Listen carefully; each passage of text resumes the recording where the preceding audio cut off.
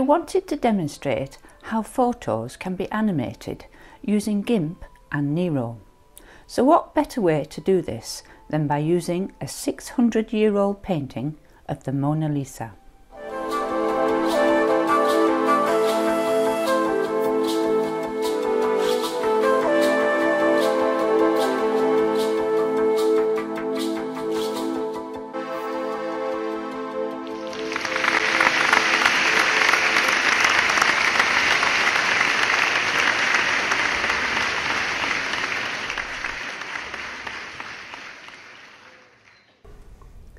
Hello and welcome. Today I'm going to share an idea with you.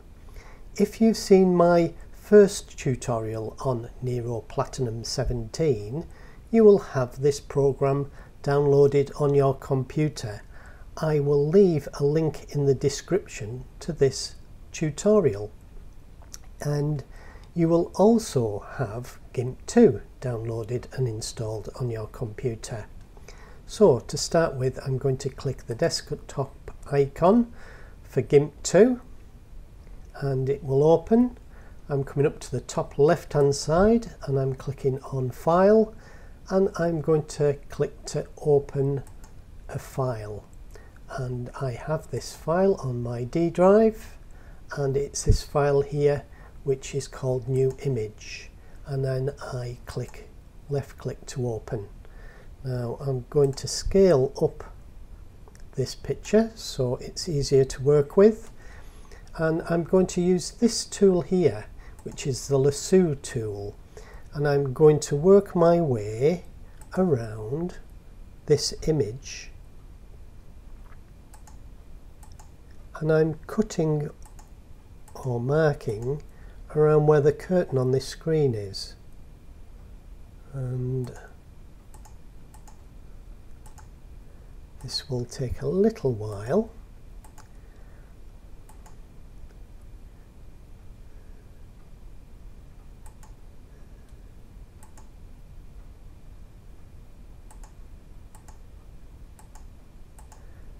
I could be far more accurate with this if I had the time, but I don't want to take too long. When I get back to the beginning, you see that this area is marked. So I have selected this area of the screen. So what I need to do now is add an alpha channel. So I come across to the right hand side of the screen, I right click, I come down to where it says add alpha channel and I left click. And what I can now do is select a rubber and I'm going to size up the size of this rubber so that it's easier to use. I've got a very big rubber here now and I'm going to choose to use a very harsh rubber and I'm going to rub away at that screen and that leaves an image that is checkered and that checkered area I can see through and if I export this file as a .png file when I import it into Nero I will be able to see through that stage. So I come up to uh, the top left. I left click I export as. And what I'm going to do up here is give it a different name. And I know that I want a, a PNG file. And I'm going to change the name of this file to test.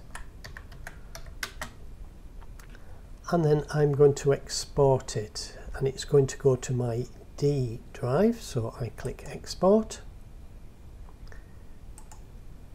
and I make sure I have the highest quality and I click to export. Now what I'm going to do is come up to the top left hand side where it says edit I'm going to undo erase. I'm going to come across to where it says uh, view. I'm going to click and I'm going to come down to where it says invert. So I'm on select uh, where it says invert. I left click and that allows me then to rub the stage out. and again I'm going to come up and I'm going to left click on file. I'm going to come down to where it says export as and I'm going to give that a different name calling it 2 I've got it as a dot png file. I'm clicking export. And again I'm exporting it in the highest quality. And that is it for GIMP. So I'm just going to close out. I don't need to save the changes. And then I need to come down to where it says Nero Platinum 17 and on the icon left click to open. I'm clicking on Nero video because I'm going to make a video.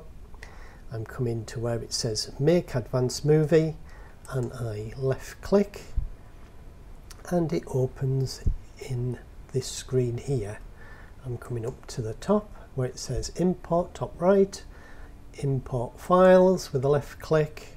I'm going to look I'm in my D drive here. I'm going to use CT, uh, uh, CTRL on my keyboard. I'm going to select those two files and click open. And then I'm going to bring both files in together. If I click on the on the file. If I click if I get it, if I eventually get them to separate I can then look at what I've got. What I need is this file on the bottom and I need this file on the top. These are two video lines and I'm going to make those two images longer. I left click on the edge of that image and I do the same on the one below.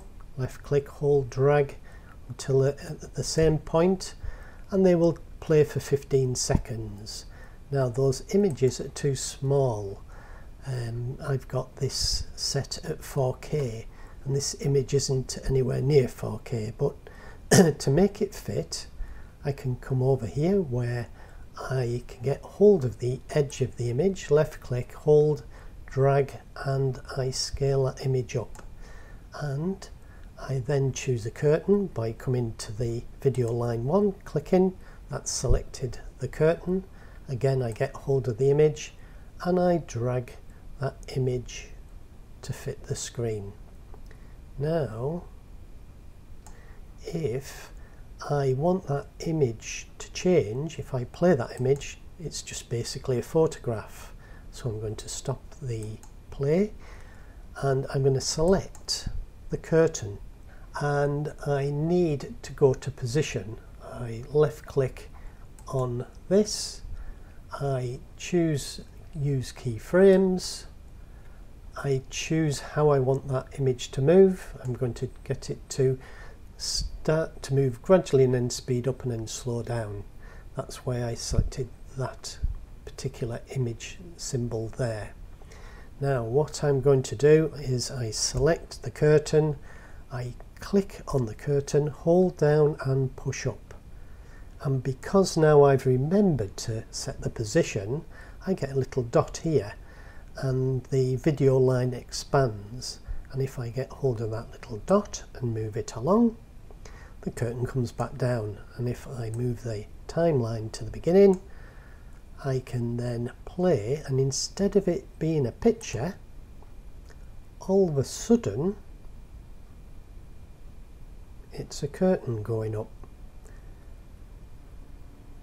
So I've basically created a video.